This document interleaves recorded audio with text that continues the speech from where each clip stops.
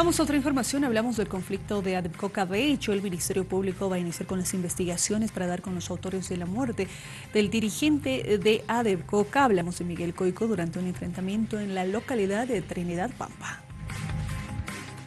Bueno, se están haciendo los actos investigativos pertinentes en relación a eh, descubrir la verdad material e histórica de los hechos.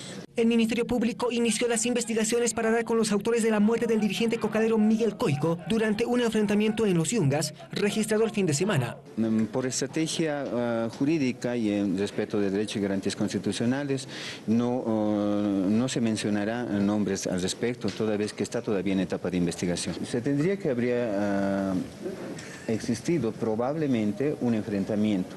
Sin embargo, de ello, esto también está en etapa de investigación, ya que el hecho ocurrió eh, el día ah, sábado 22 en horas de la tarde. De momento no existen aprendidos por el caso y por razones de seguridad se evitó revelar los nombres de los sospechosos que habrían terminado con la vida de Coico. Datos preliminares de la Fuerza Anticrimen refieren que el cocadero Miguel Coico falleció a raíz de una herida de arma blanca durante el fin de semana se manejan dos hipótesis por parte de la policía. Se ha logrado realizar la autopsia, se ha ido hasta la comunidad eh, donde, ocurrieron los hechos y tenemos como causa ah, de la muerte shock hipovolémico postraumático. El fin de semana se registraron enfrentamientos entre cocaleros afines a Adepcoca y disidentes a esta asociación.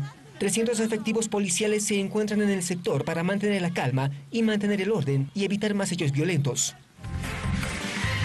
Sobre este tema, que es lo que señaló el ministro de Desarrollo Rural, César Cocarico, ha mencionado que personas afines a la dirigencia de ADEPCOCA están generando esta violencia en la región.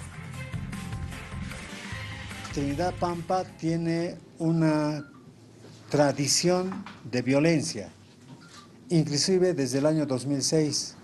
Esa tradición de manejo de armas de fuego hasta ahora se mantiene. Y el objeto de violencia es masacre a todos los que han venido a la asamblea del día sábado. Yo pienso que la justicia, en este caso el Ministerio Público, tiene que actuar con rapidez de tal forma que se identifique a los responsables. Ese es el fenómeno, no es otra cosa. Evidentemente, fruto de todos estos hechos, el día sábado ha habido una persona fallecida, las circunstancias no la conocemos, eso tiene que ser parte de la investigación policial y del Ministerio Público. Tres horas con 15 minutos sobre este tema es lo que señalaron eh, los productores de coca del trópico de Cochabamba. Veamos.